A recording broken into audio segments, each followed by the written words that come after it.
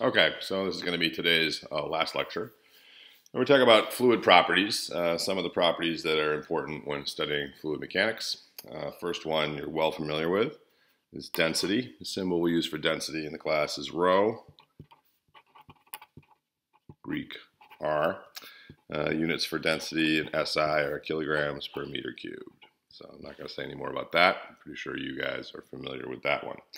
Uh, it is a good idea when dealing with fluids to have a rough sense of what certain densities are uh, so that you can, um, you know, sort of get a sense for whether what you're looking up is right uh, and get a sense for how things would change with density. So I think it's a good idea for you to know as engineers that the density of water is basically uh, 1,000 kilograms per meter cubed. And uh, that's really heavy. So that's first thing to remember is that water has a very, very high density.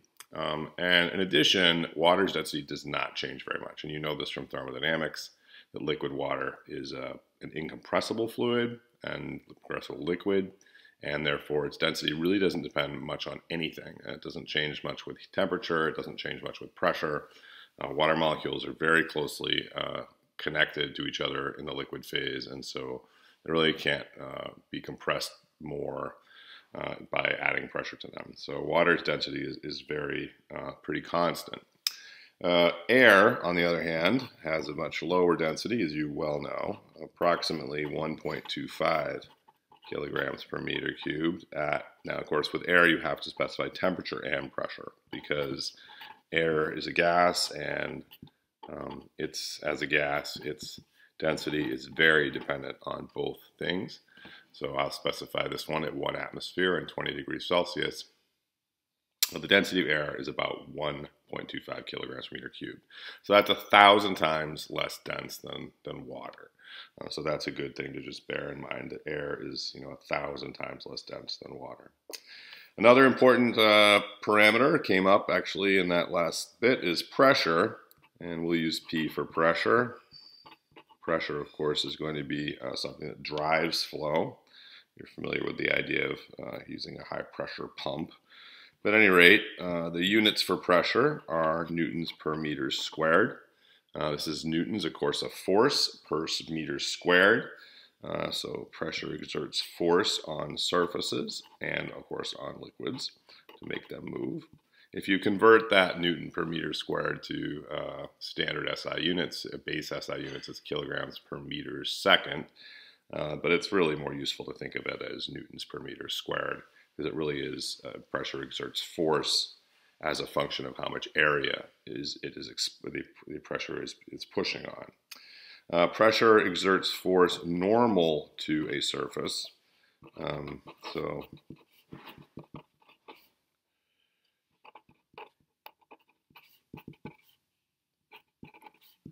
Now this doesn't have to be an actual physical surface, though of course it can be. Um, so it could be that there's a wall holding some liquid back, some fluid back, in which case that wall would experience an outward pressure. Uh, if there were you know, pressured liquid inside, would act normal to the wall, but it also can just be a plane in the fluid flow. So pressure at one point in the flow will exert uh, force on the on the fluid at that plane, and then you know it's a, a different place. It could exert that force normal to the, to a plane in a different direction. Uh, anyway, but you need to calculate the force sometimes. The force is equal to uh, very simply the pressure times the area. That the, it was the area of the surface, of course, area of the surface. So that's your um, pressure. And again, you're familiar with pressure but it's an important, important property for fluid mechanics. Uh, another important property that you're certainly well familiar with from thermodynamics and, uh, and other things such as chemistry is temperature. So T is temperature.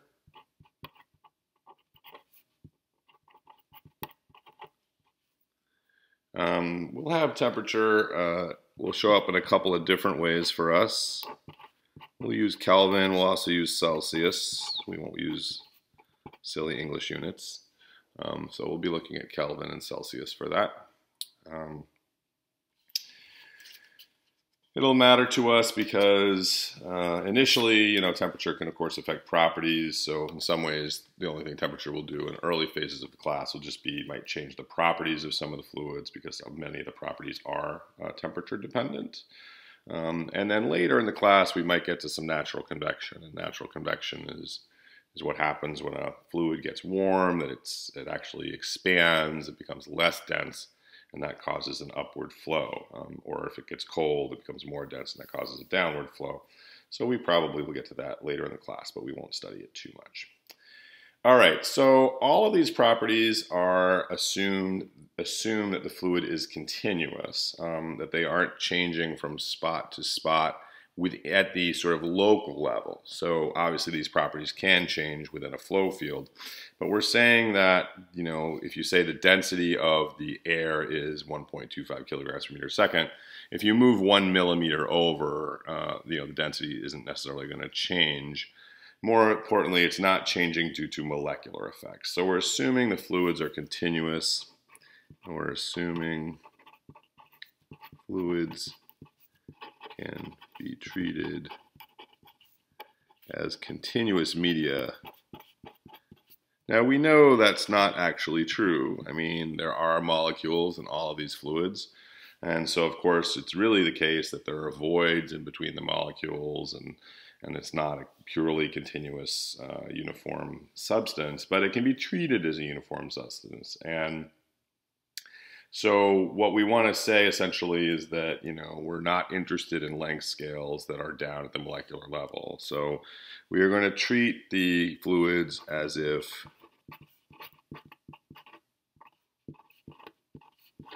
as continuous media, um, which means, to treat fluids as continuous media means the physical features of the flow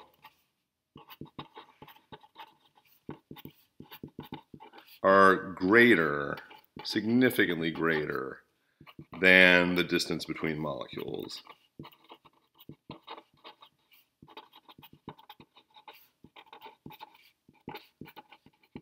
So we're saying that, you know, we can study flow in a pipe or flow over, you know, flow in the sky or over a wing because this dimension of the pipe and the dimension of the wing are much, much greater than the intermolecular distances. So from the perspective of the wing or the pipe, the fact that there are a bunch of small molecules is really irrelevant. They're just too small to be uh, considered.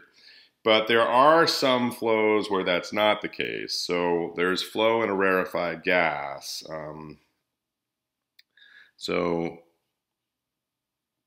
flows of rarefied gas. I'll spell that again so you can read it. Rarefied gas um, have intermolecular distances that are greater than the flow features. So what is a rarefied gas? Well, rarefied gas is a gas that is very not very dense at all, that in fact has relatively few molecules. As we know, gases, as we discussed last lecture, will expand to fill any space. So if you only have 10 gas molecules in a large volume, you're going to have very large gaps between those molecules, and that would be an example of a rarefied gas. So it still is a fluid, and you can study it as a fluid, but it's not going to be a continuous fluid. That's going to be treated as essentially separate gas molecules. Um, so the rarefied gases have intermolecular distances that are greater than flow features. So you're looking at situations where um, you know the distance between the molecules is quite significant compared to uh, the features you're looking at. This can also, of course, uh, not be a continuous system if the flow features you're interested in um, so it can be not continuous or not continuous if the flow features you are trying to study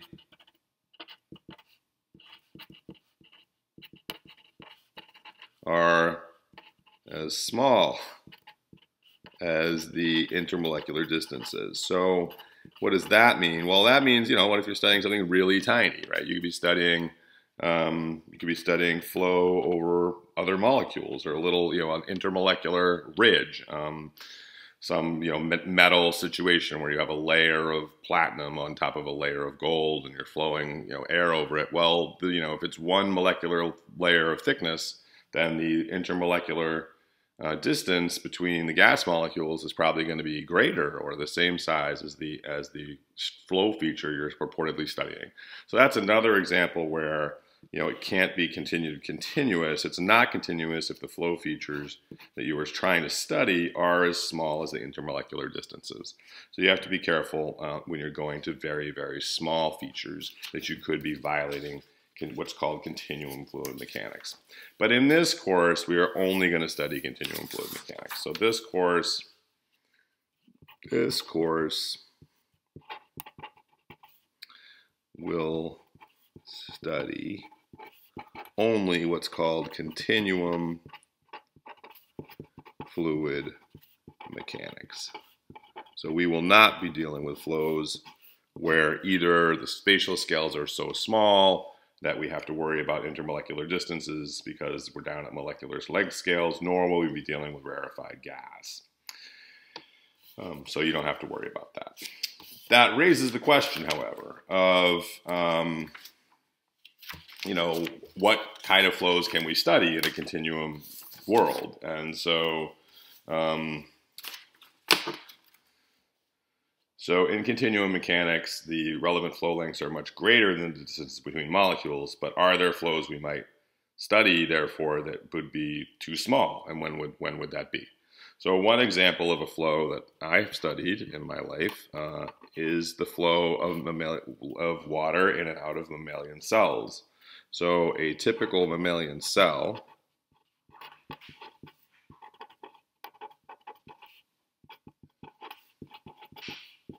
is roughly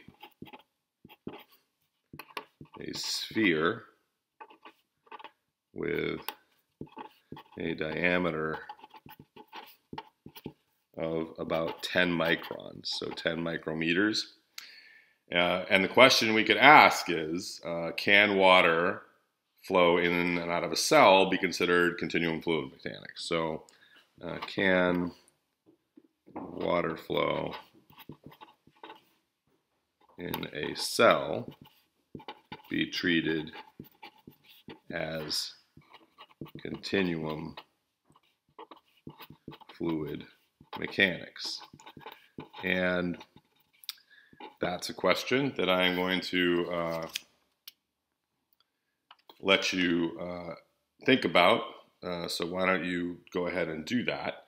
Um, so turn off. We're going to turn off this video, uh, and I'm going to let you think about how you would decide whether uh, 10 micrometer cell full of water, cells are full of water, uh, whether the flow inside that cell can be treated as a continuum, or whether that small size, a very tiny cell, um, size of a human hair, maybe that's too small and maybe we won't have enough molecules in that cell in order for us to really consider it to be a, uh, a continuum. Okay, and we'll finish that up next lecture.